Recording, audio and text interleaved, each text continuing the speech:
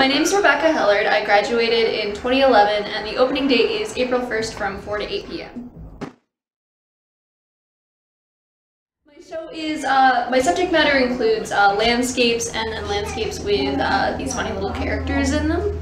I draw a lot of inspiration um, from my dreams and things like that and the natural world but then also uh, it is very a, a, very serendipitous process so I kind of just uh, create these landscapes out of my imagination.